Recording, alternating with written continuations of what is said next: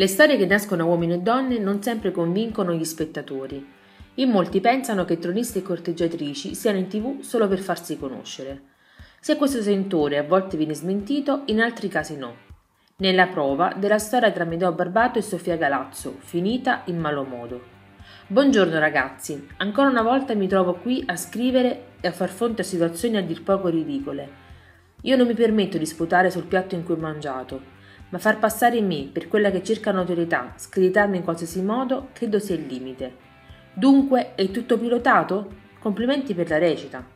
Beh, senza dubbio questa storia è caduta nel ridicolo. Ad oggi vi dico di non associare più il mio nome a quello di Amedeo. Ha scritto così Serena Pannella, ex del tronista, dopo che la notizia della fine della storia tra Amedeo Barbato e Sofia aveva cominciato a circolare. A quanto pare i due si sono lasciati definitivamente e il fatto che sia avvenuto così presto dopo la scelta lascia qualche dubbio. Da canto suo, il tronista risponde sui social con una frecciatina. Ora inizia la parte della vittima, ridicola, si chiude una porta. Di certo non era amore quello nato nello studio del canale 532, ma se così fosse, Amedea e Sofia farebbero meglio non farsi vedere dal mare di Filippi, che tiene molto all'onestà dei suoi programmi.